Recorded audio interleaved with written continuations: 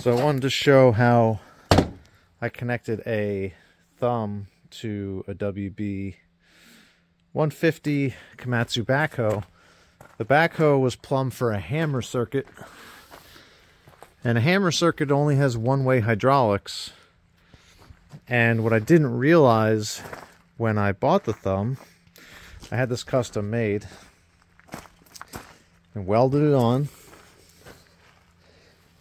and you know we hooked it into the hydraulics but what i didn't realize was that the machine was not equipped for a two-way circuit.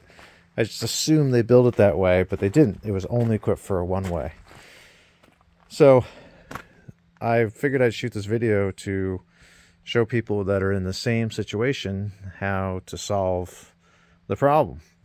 Uh, the first thing that i did is i had to get a directional spool valve this is dual control, and I essentially intercepted the circuits, and you can see here that this line was the return and this line was the feed. So I actually took the return, instead of going there, I intercepted it, went back to the spool valve.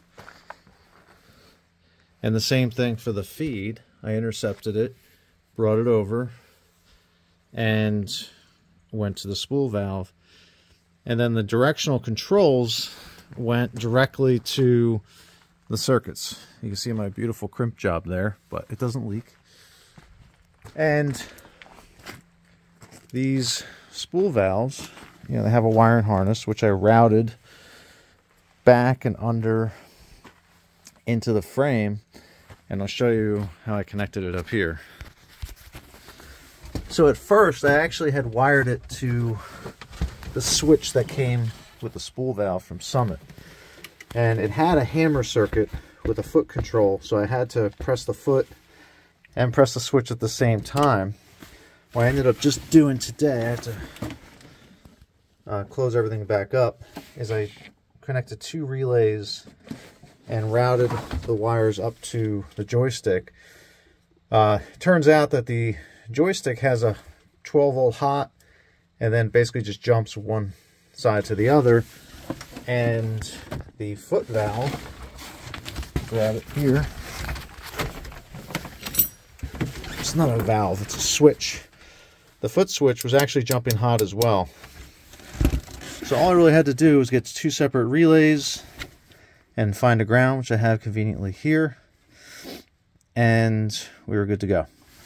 So at that point, there's something uh, that I discovered when utilizing this I wanted to cover in the video.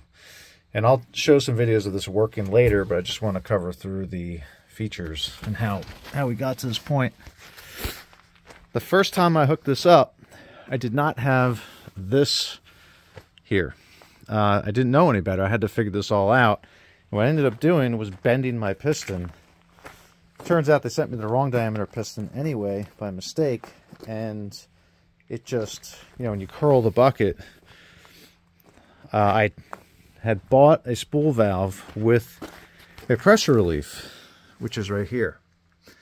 And I was told by Summit the company that claims they manufacture these valves uh, that that pressure relief would provide me relief coming back against that piston and so what I did, rather than hooking up gauges and everything, I just dialed the pressure relief valve all the way out to basically 400 psi, I think was their minimum setting, which obviously should have easily pushed this back, and it didn't.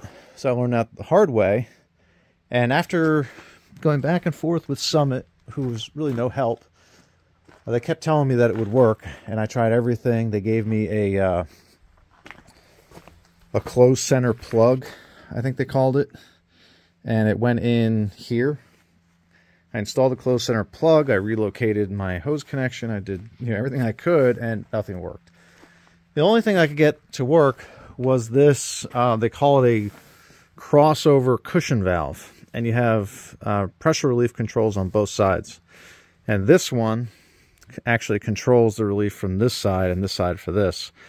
Um, so you want to control the pressure relief from this so that when the bucket curls against it, you can force this piston back and it actually forces, but what it does is it forces the fluid, it actually takes it here and it takes the fluid and pushes it to the front of the piston. It actually helps bring it uh, back instead of trying to bring the fluid all the way back to the machine, which is, um, you know, you have a longer drag back there. This is actually much more instant. And again, I'll do some videos, but this turned out to work out uh, brilliantly, really. Uh, it's perfect. I started out with the lowest setting and yeah, I'm still kind of dialing it in because I pick up really big logs with this machine. And so I'll put my Allen key and do one adjustment and then I just kind of been playing with it because I don't want to end up with a bent piston again. Uh, but it works great. When I have a helper, I'll have somebody um, film me and I'll just add it onto this video so I'll make one longer video. Um, a couple points here. Uh, you have another option instead of doing this. I could have crawled underneath and actually tied into the main return. Kind of look up in there. And you see everything that's going on. The main return is a big line that go actually goes this here, this return circuit, where it comes out here actually goes down, it goes right into the tank. And I could have intercepted that, but I would have had to completely extract all the fluid. I would have completely dumped all over me, and I would have had to have gone into the wiring harnesses to hook this up to install another solenoid down there, tee into the main block. And after I add it all up, working under there and extremely uh, busy uh, area where you can't really access anything, I actually found that this solution was better for me because I have actually more control doing it this way. I can see everything that's going on, and um, I was able to kind of feel my way through adding this because there's a lot of unknowns. I don't you know, have to kind of figure it all out as I go. Uh, the total solution, this thumb was 2500 custom thumb, including the piston, uh, you know, fittings, hoses, the valve. I think that was like 500 um, for all that, you know, all the hoses and everything. And this spool, directional uh, spool valve assembly was, I want to say about 600 bucks. And there's the part number I used. Uh, you know, Summit makes a good product. It's just don't rely on their customer service or their tech support for anything, any kind of real reliable information uh, you really have to do your own research, as I discovered. So we'll get some video using the sucker. Um, we'll see how it goes. All right, get this trailer loaded up. I actually loaded it with the backhoe. It's a single axle, it's a 20 ton, I'm sorry, 20,000 pound axle. And, uh, you know, these logs are about, I guess, 12 feet long-ish. So we're gonna bring it over to the wood pile and test out this thumb.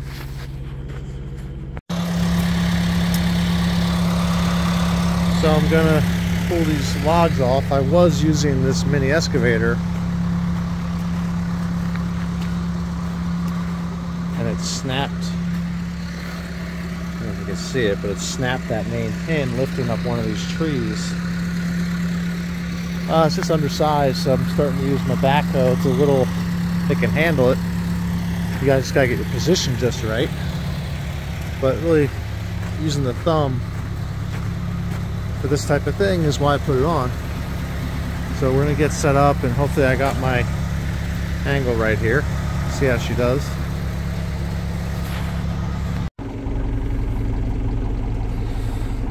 Okay.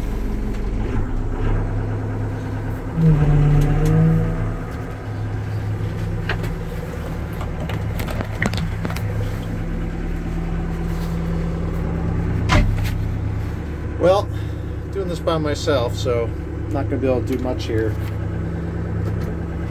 with uh, being one-handed and all. I think I pulled the bulldozer too far forward. And I got to tweak the angle a little bit. So, anyway, it's going to make the worst video ever unless I can, uh, oops.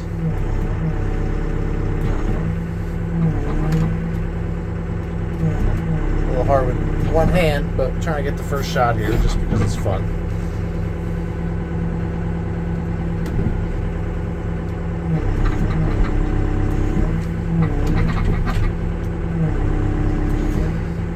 Last one.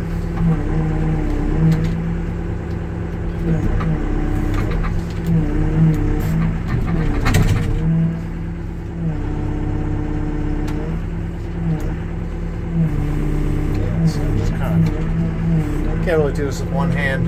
I'll have to wait for a helper.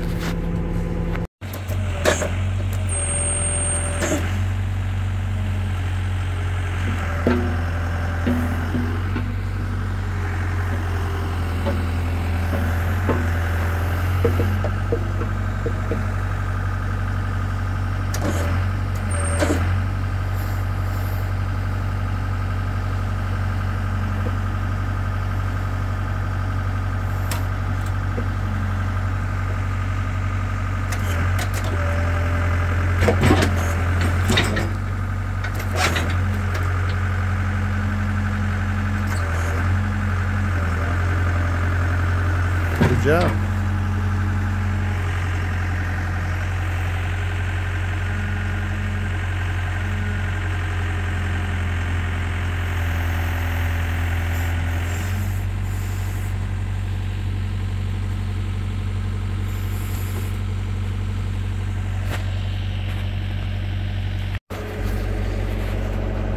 Okay, already gotten some logs off. Now we're going to uh, we got somebody else using the machine.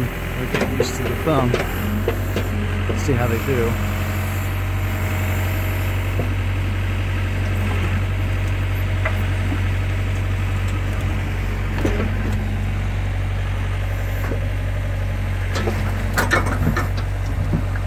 It's gonna be a tough one.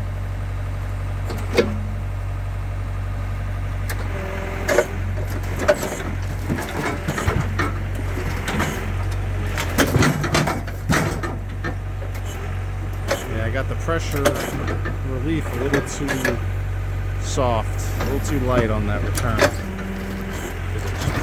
Yeah. Has a hard time grabbing it because the, the thumb goes back. I gotta still adjust it.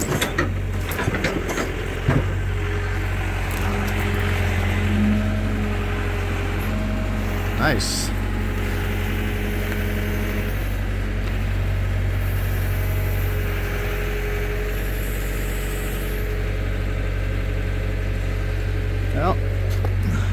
having a thumb.